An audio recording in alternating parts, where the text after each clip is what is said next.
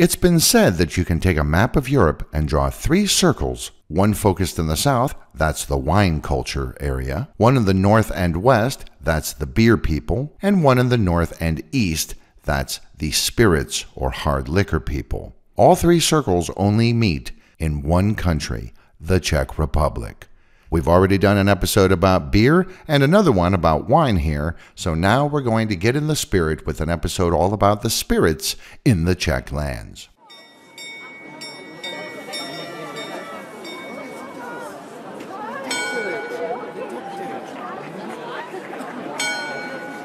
A city is much more than just a collection of buildings. It's a location, it's a history, it's a culture, it's ideas and ideals, and a city is also, most importantly, the people in it.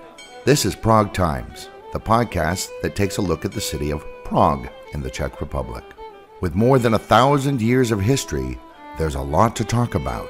We'll talk about the past of Prague, but we'll also talk about the city as it is today, future plans for the city, and much more. It's Prague then, Prague now, and Prague later. And this is Prague Times.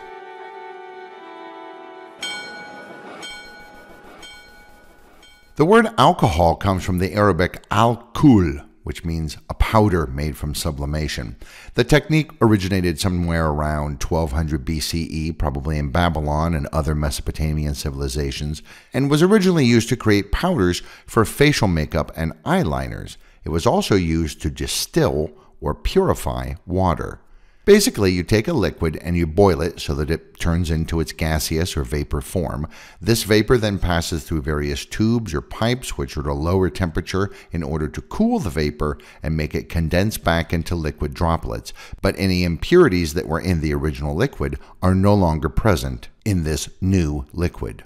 If that original liquid had certain other substances in it, like grains or fruits or sometimes even vegetables that have already gone through alcoholic fermentation, that alcohol would become part of the clearer liquid after the distillation process. This makes liquor in the US hard liquor because the alcohol content can sometimes be quite high. The word liquor comes from the French word liqueur, which means fluid.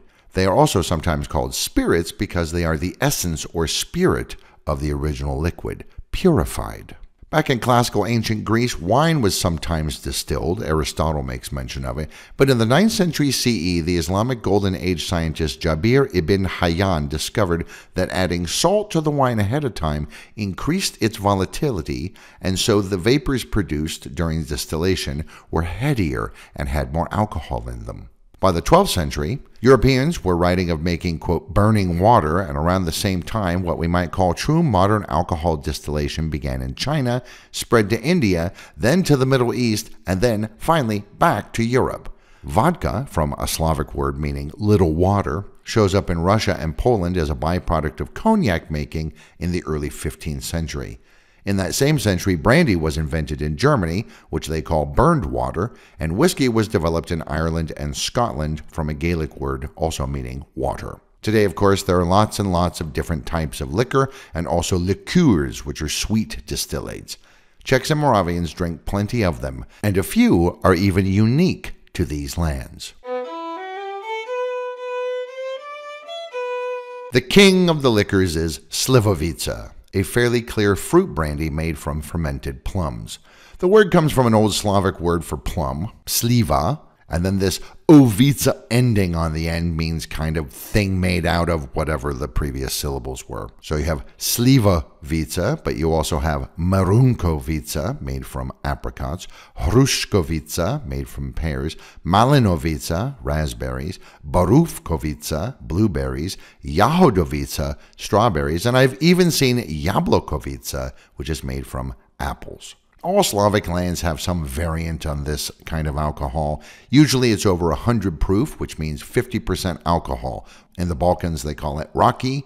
The German word schnapps can also kind of be applied to this type of liquor, though that actually has a much broader meaning and also includes herbals and flavored liqueurs, which have sweetened added syrup to them, and also infusions. This stuff is usually drunk from a shot glass called a panak in Czech, meaning dummy. A classic accompaniment to slivovica is skvarki, which is little bits of deep fried chunks of pork fat. Yeah, I know. One of the largest purveyors of Slivo and other Ovicas is the company R. Jelinek, R for Rudolph, who took over the family business in 1926 and stuck his own name on it.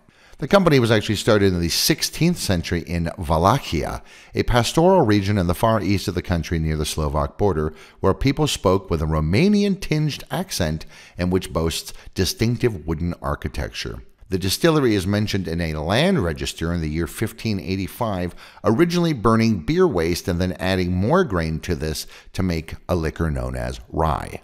Then in the 18th century, fruit from many nearby orchards around the village of Vizovica, just east of Zlin, began to be distilled. The precursor to the current incarnation of this company comes from 1894, and R. Jelinek quickly became one of the big three distilleries in the region. The other two were the Karl Singer and the Razov distilleries.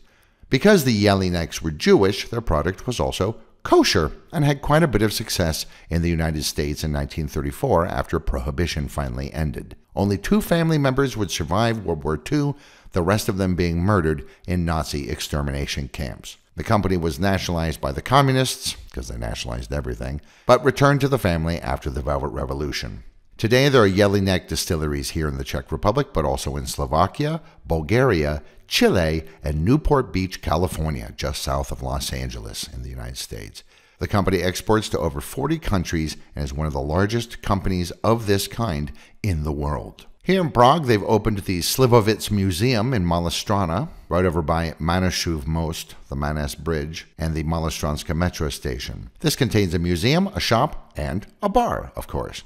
Tours are 55 minutes long, conducted in something they call 5D, whatever that means, and that costs 450 crowns, about $20 or 15 British pounds. Seems a bit steep, but it does also include a tasting. And if you want a premium tasting, you got to fork out an additional 100 crowns. However, many people consider their product to be too rough or too sweet or not sweet enough, and this country is filled with people who like to make their own ovicas at home or at their chata, which is their weekend house. Slivovica and other fruit brandies are also a large part of any traditional zabayechka or pig killing, where a pig is slaughtered and over the course of the day the entire animal is used to make various food items. And much, much slivovica is drunk during this experience, which often starts at 5 in the morning. A liquor wholly unique to this country is Becherovka, an herbal bitters digestive from the spa town of Karlovy Vary, or Carlsbad. It tastes kind of gingery and kind of cinnamony with anise and herbal notes, a little bit like drinking a shot of Christmas, but with attitude. The recipe is a very closely guarded secret known to only two people and contains more than 20 separate ingredients, some of which come from as far away as Zanzibar, Sri Lanka, and South America, while others grow in the surrounding forests. It's 76 proof or 38% alcohol, and over 8 million liters are made each year, sold in nearly 40 countries, even as far away as Japan and Brazil. Today, the company is owned by a French concern known for their anise flavored aperitifs, Pernod Ricard. Josef Vitus Becher started playing around with hard liquor making back in the 1790s. In 1805, the Westphalian noble Prince Maximilian Friedrich von Plettenberg traveled all the way from western Germany to Karlovy Vary to seek cures for the various ailments that befell him. The prince's doctor got into a conversation with Mr. Becher about what exactly was ailing the prince, and Becher started experimenting. Two years later, he had created what he hoped might be a curative for the prince. Because the prince's doctor was English, Becher called it an English bitter. It became something of a hit, and Becher's son expanded production of it in the 1830s. Soon, the newly renamed Karlsbader Becherbitter was being sold in many countries. By the end of World War I, it was available as far afield as Egypt and Turkey. After World War II, people of German extraction were expelled from Czechoslovakia, so the family had to abandon their company. It was then nationalized under the communists and became a rather successful export item throughout communist Europe. And then in the 1990s, it reverted back to the Becher family. In 1998, a guy named Zdeněk Hoffman started making Becherovka in the town of Domažlice near Pilsen and selling it in Slovakia. He claimed that Alfred Becher had given him the secret formula way back in 1939 so that it wouldn't be lost when it looked like the Nazis were about to invade. Oh, and Becher also gave him permission to make it and sell it. In 2003, an investigation was launched, yet Hoffman was unable to produce anything that legally constituted proof. He was found guilty of fraud and spent 18 months in prison. And once again, the Becherovka company was the only one making this stuff. As I said before, the taste is rather unique. Some people love it. Other people, however, hate it, like me. One way to make it more palatable is to mix it with tonic water. This is called a beton, from the be from Becherovka and ton from tonic. But the word beton in Czech means concrete. The beton was invented for the 1967 World Expo in Montreal, Canada, where it became an extremely popular part of the Czechoslovak pavilion. In the days of communism, staff at the Soviet consulate reportedly drank Becherovka mixed with Stoli vodka. A red moon is Becherovka, black currant juice, and sparkling water, preferably Matoni, which is also from Karlovy Vary. There's a museum ink tour costs about 180 crowns, $8, or 245 crowns, $11, if you also want a sampling of four products, including a Beton. You can plunk down more and also try another cocktail called a Becher 57, which is a mixture of Becherovka Original, Becher Cordial, and a bitter aperitif they make called KV14. And of course, if you visit there, you'll also get to see Karlovy Vary, or KV, which is super, super pretty. A liquor many Czechs think that they invented is Fernet. However, they are wrong. This is actually an Italian aromatic bitter, a type of Amaro, which is a digestive that dates back all the way to ancient Rome. Amaro is made by macerating herbs, roots, flowers, bark, citrus peels, and other items in a neutral spirit, mixing it with sugar, and then aging it in barrels. Fernet today includes myrrh, rhubarb, chamomile, cardamom, aloe, and saffron, and is made in a base of grape distillate. However, many countries produce some variant on this, and the one here in the Czech lands is called Fernet Stock, made in the Pilsen suburb of Božkov. The Czech version includes 11 herbs shipped in from the Alps and the Mediterranean, plus 3 from the Czech lands, and is quite bitter. Think Jägermeister without any of the sugar. After the financial panic of 1873, which crashed the European economy, a company called Lionello Stock was founded in Trieste, Italy, that made cognac. After World War I, they bought a distillery in Božkov to help supply the Central European market called Stock Cognac Medicinal. In 1927, they began producing their own version of Fernet. The company was hit hard by the 1929 global depression, then it was confiscated during the Nazi occupation because it had been owned by Jews. The Italian parent company managed to get control again in 1947, only to have the communists nationalize it in 1948. It remained a fairly popular drink during communist days, but was often hard to get, sort of an under the counter tipple, with slang names like Cherny Svihak, black dude, nafta, diesel, fermej, varnish, lakna rakve, coffin varnish, dech mrtve milenki, breath of a dead mistress, moch mrtve asphalterki, urine from dead asphalt, and machkani stjenici, or crushed bedbugs. Mmm, yummy. That's about 80 or 90 proof for 40 to 45% alcohol. Maceration of all the ingredients takes about eight weeks, and then barrel aging continues for several months.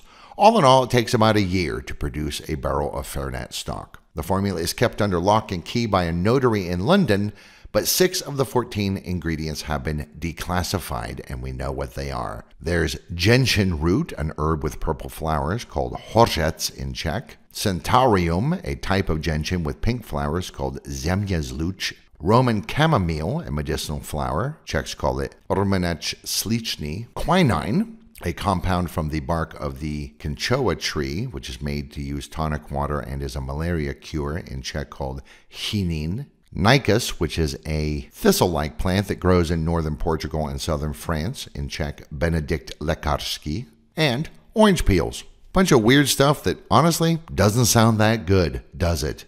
That's because it isn't. Some of those nicknames I mentioned really tell the taste tale, in my opinion. I've often said that drinking Fernet is like licking the tires of a long distance truck. But that's me. Plenty of people do like it. It really started seeing serious sales after the Velvet Revolution with 500% growth during the 90s, making it the most popular Czech liquor of them all. Then they came out with a lemon flavored version in 1997, which is even nastier. Try and imagine licking a road that has had furniture polish sprayed on it first. And then this became the second most popular liquor in terms of retail sales. The whole company was sold in 2007 to Tenebro, which is a subsidiary of the massive American asset management company Oaktree Capital Management. Building on the success of their nasty lemon flavored Fernet, they have come out with other flavors like orange, cranberry, pear, honey, spiced, mint, and blended with Caribbean rum and even more. But really, this is just putting lipstick on a pig. If I had to choose at gunpoint between Becherovka or Fernet, I would probably choose Becherovka, and I hate Becherovka. However, mixing it, like with Becherovka, can yield some pretty decent results. Mix it with tonic water and a slice of lemon, and you have a Bavarok or a Bavorsky Pivo, a Bavarian beer. It actually foams up a bit and looks kind of like a dark beer. This is also sometimes called a BMW or BMW. Sometimes people like to take ginger ale or ginger beer and dump in some Fernet to make a version of a Bavarok. Sometimes they use Fernet honey. And there are other drinks as well, like one made with Fernet citrus, grapefruit juice, and tonic that I have not had but it sounds nasty. The Božkov folks also make Tuzemák, a slang term meaning domestic or homegrown, an ersatz rum not made from sugarcane like real rum is, but from potatoes or beets, and then flavored with rum flavors and also things like vanilla or vanilla sugar. It's a very popular drink here, partly because it is dirt cheap. It's about 35% alcohol or 70 proof. Because the importation of rum from the New World was expensive, a number of these fake rums started showing up throughout the Austro Hungarian Empire in the early 19th century often called tea rums or cooking rums. However, modern EU rules say anything that is designated with the word rum must be made from sugarcane, and so they had to rebrand Tuzemski Rum as Republika, and as so many of these distilleries do, they started making flavored versions of it as well, namely honey, almond, and espresso flavors. Sometimes people will mix Tuzemák with Kofola, an extremely caffeinated cola made in Ostrava, started back in 1959 as an alternative to drugs like speed to keep long distance truck drivers awake on the roads. This Tuzemák Kofola drink is sometimes called a Checo Libre or a Božkov Libra. While Božkov is the undisputed king of the fake rums, a few other places also make a Czech Tuzemák, like Liqueur Nezdenica near Zlín and Uherský Brod in eastern Moravia, Fruko Scholz in Jindřichův Hradec, Green Tea Distillery in Ústí nad Labem, which claims to be the oldest distillery in all of Europe, and St. Nicholas in Liptovský Mikuláš, a town in north central Slovakia. Drinking Tuzemák can also be seen as a sign of bravery. The rum flavorings are created by heating pyrolysis oil, a biofuel substitute for petroleum made essentially of oxygenated tar mixed with ethanol, manganese dioxide, which is an inorganic compound used to make dry cell batteries, and sulfuric acid. In 2017, a study by the European Food Safety Authority said that this combination can have serious genotoxic effects this means DNA or chromosome damage, which can result in cancerous growths. Another Božkov classic is Zelena, which just means green. This sweet peppermint liqueur is the same shade as bright green mouthwash. It's made from macerating mint leaves in a wine distillate and then dumping in a whole bunch of other green herbs and finally some sugar. It's about 20% alcohol or 40 proof. It used to be pretty popular because it's dirt cheap. And as such, it was a favorite of students, supposedly also ladies, because, you know, they like sweet things. As we know, young people can often be creative, and so a number of different ways to drink Zelena have been developed over the years. There's the Magickie Oko, or magic eye. You get a shot of Zelena and very, very, very carefully slide it into a pint of beer. None of the green can spill out of the shot glass, however. There's also a weird game that can be played called Road from the Forest, Cesta Zalesa, but I've never really understood it. Uh, ask your Czech friends. There's also Žabí hlen, which means frog mucus, sometimes also just called Flusanec. To make this, you mix Zelena into a shot partly filled up with egg liqueur, which is a pretty tasty Czech drink that's like eggnog, and we'll talk about in a bit. And the trick is to get the balance of the two liquors just right so that the consistency really is like, well, mucus. Or do this the other way pour egg liqueur into the zelena, and it's called a sergeant or a soldier's brain, četař or vojenský mozek. The brain part is that you must pour the zelena slowly in small circles so that when it's all finished, it kind of looks like a brain. And then I guess you drink it. The semaphore, or traffic light, is a layered shot with griotka on the bottom. This is a cherry liqueur, probably originally from France, that tastes kind of like a sweet cough syrup. Then a layer of egg liqueur. Then Zelena on top. You must be very skilled to get the layers just right without mixing them. Pouring over the back of a chilled but not wet teaspoon is one trick to being successful at this. You'll note that the traffic light colors are reversed in the glass. The red is at the bottom and the green is at the top. So you make it correct by slamming the whole thing down all at once with your head tilted back. A wind from the mountains is mixing two parts Zelena to one part Alpa. Alpa is an alcoholic rheumatism cure. A water goblin's sperm is Zelena with a dollop of heavy cream in it, and the cream curdles, though you can use coffee creamer in a pinch. And finally, there's Bacha Hovno v trávě, which means, look, a turd in the grass. And this is Fernet layered on top of Zelena in a shot glass. However, serious drinkers consider all these to be silly kids' games, and no self respecting adult would be caught dead drinking any of this. Is Zelena good? No, it isn't, unless you like drinking very sweet liquid toothpaste.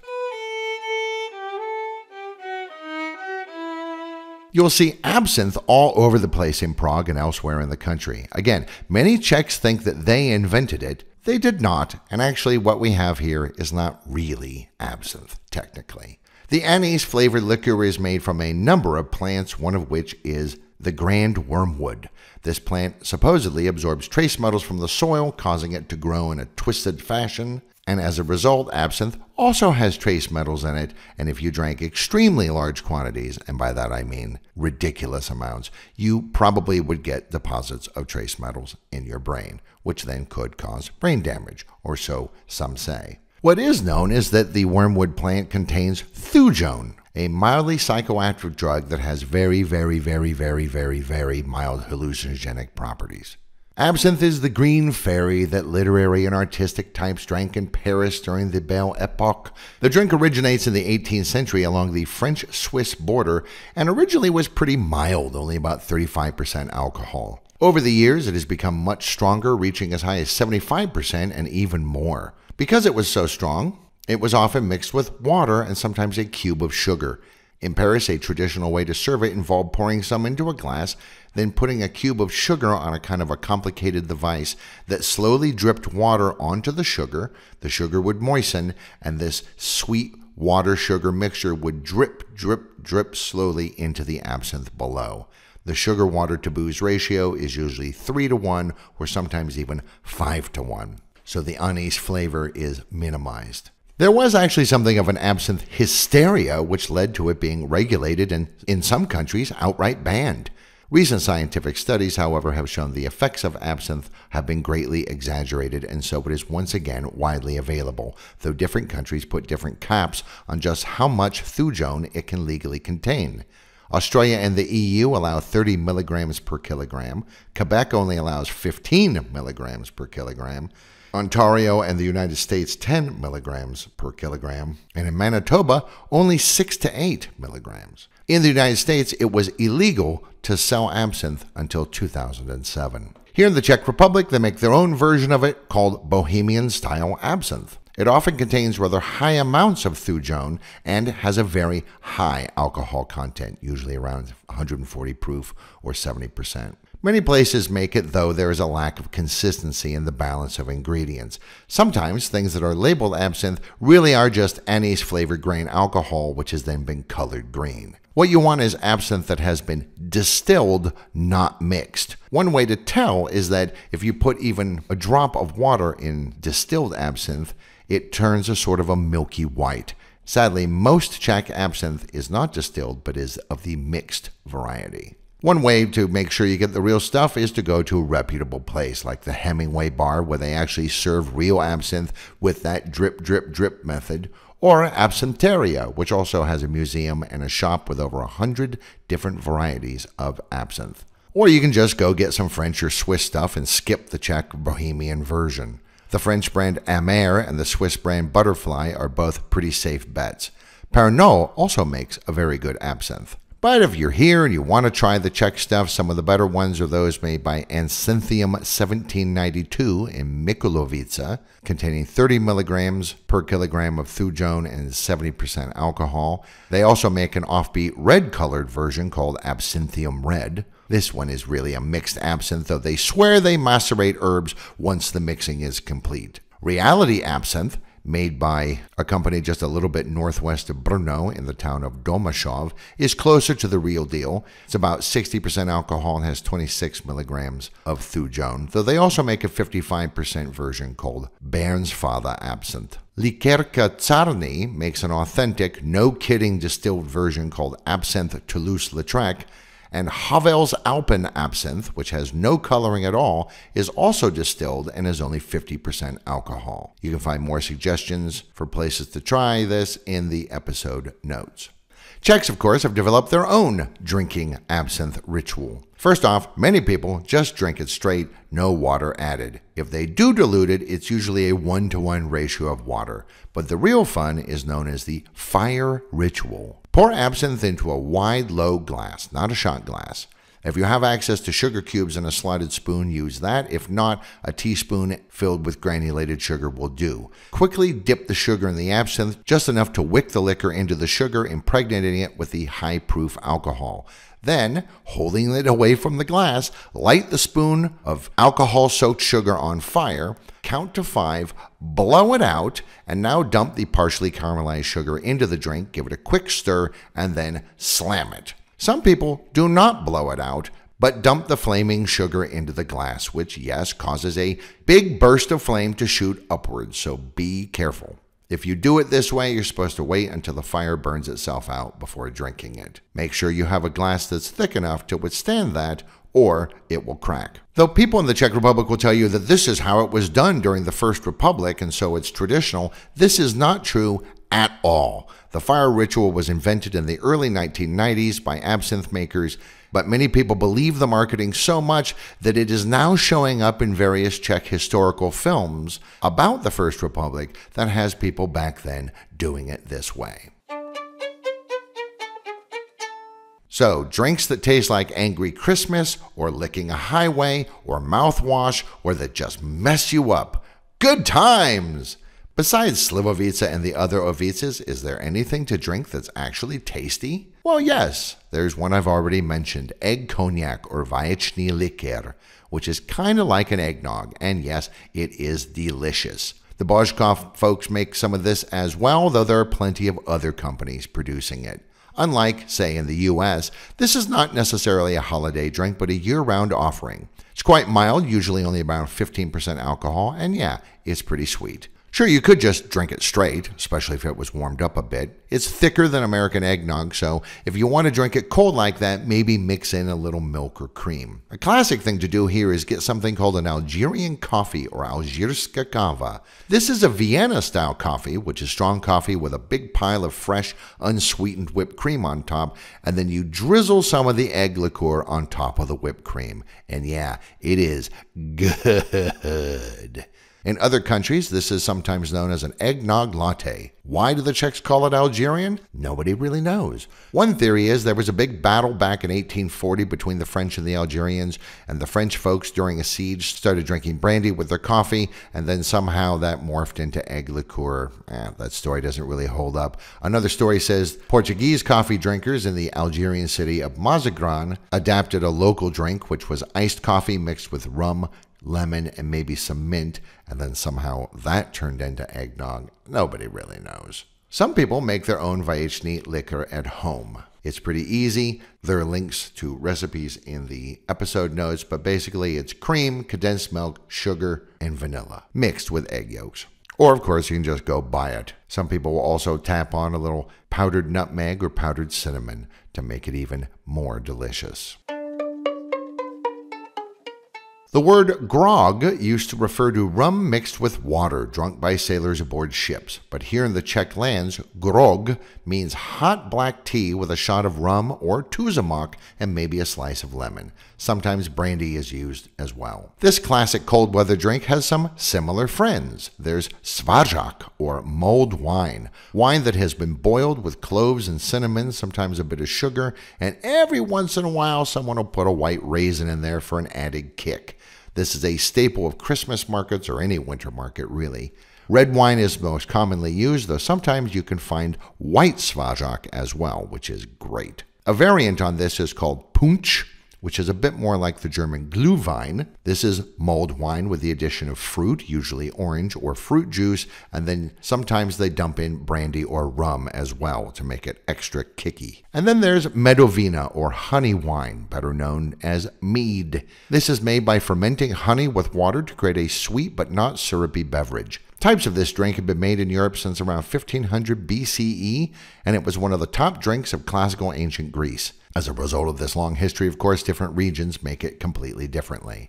In the Czech lands, where it's been made in some form or another since at least the 6th century CE, probably by the Celts, you can often find a hot version of it in the winter. But be warned, it kind of goes to your head in a sneaky way. I've often found myself having one and thinking, wow, that was delicious, and then ordering another one, but about halfway through the second one, the first one hits me, and pretty soon I forget where I live.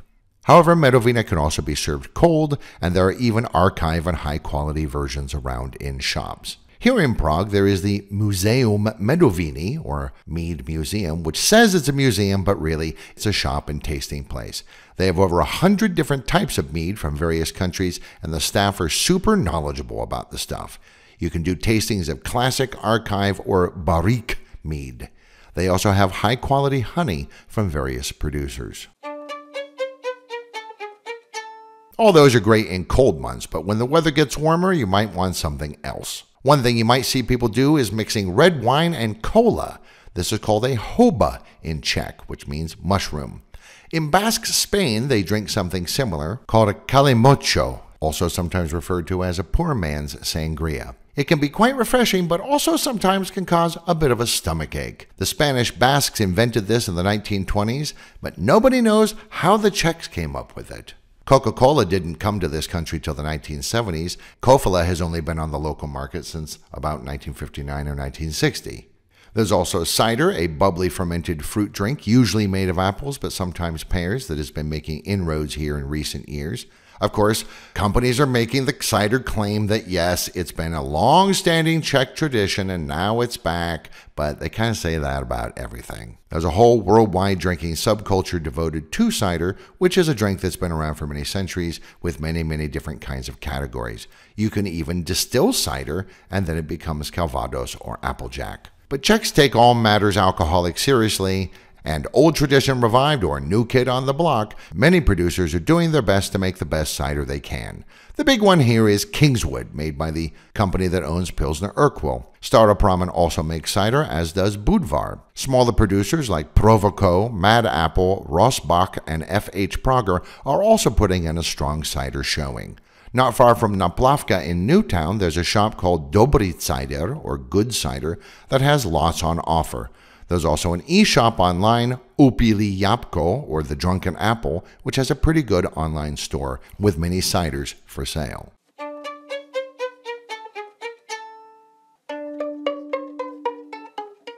And so there's a lot more to drink here than just beer and wine. In addition to this smattering of local tipples and favorites, you can find pretty much any other liquor you might want in Prague. Sometimes even specialty bars that are dedicated to just one thing. Like, for example, there's the Rum House Caribbean Bar, which has a terrible website, but a truly impressive selection of rums.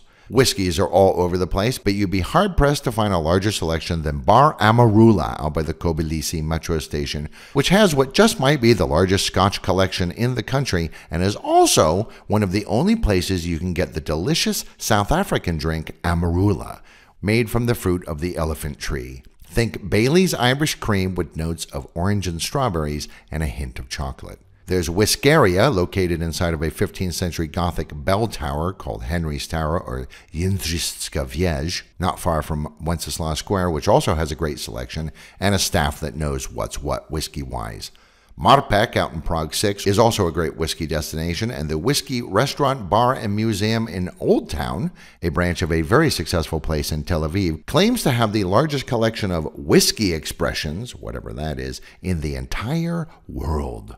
And on and on it goes. There's no shortage of places to get your drink on in this city. You'll note we are not talking about cocktails in Prague here because that, of course, deserves its very own episode in the future. Until then, Happy New Year and drink responsibly.